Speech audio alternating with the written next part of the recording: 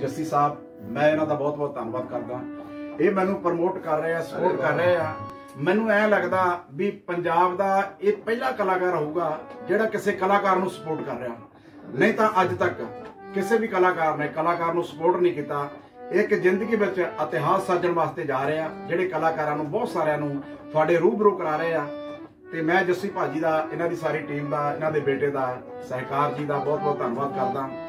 ਔਰ ਸਾਡੇ ਜਨਾਬ ਸਰਦੂਲ ਸਿਕੰਦਰ ਸਾਹਿਬ ਉਹਨਾਂ ਦਾ ਸਹਿਬਜ਼ਾਦਾ ਅਲਾਪ ਮੇਰਾ ਭਤੀਜਾ ਇਹ ਵੀਡੀਓ ਬਣਾ ਰਿਹਾ ਇਸ ਵੇਲੇ।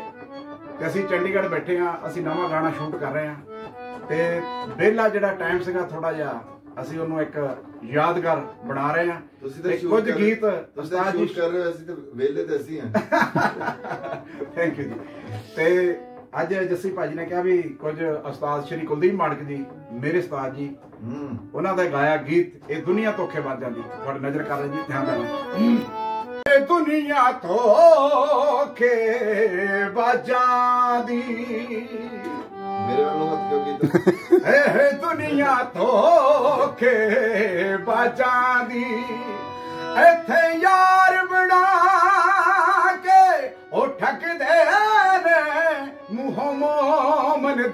दिला फरिए?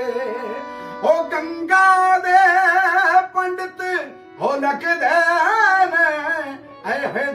तोखे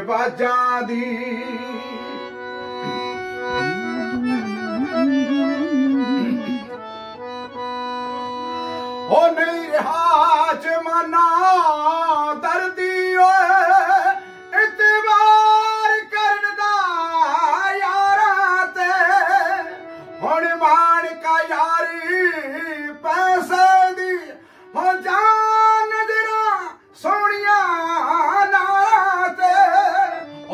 ਹੋ ਜਾਨ ਨਜ਼ਰਾਂ ਸੋਹਣੀਆਂ ਨਾਰਾਂ ਤੇ ਉਹ ਭਲਿਆ ਦੀਆਂ ਨਜ਼ਰਾਂ ਚੁੱਕ ਗਈਆਂ ਉਹ ਭਲਿਆ ਦੀਆਂ ਹੈ ਨਜ਼ਰਾਂ ਚੁੱਕ ਗਈਆਂ ਹੋ ਲੁੱਚੀਆਂ ਦੇ ਚਿਹਰੇ ਉਹ ਤੱਕਦੇ ਨੇ ਇਹ ਦੁਨੀਆ ਧੋਖੇ ਬਾਜਾਂ ਦੀ ਇੱਥੇ ਯਾਰ ਬਣਾ ਕੇ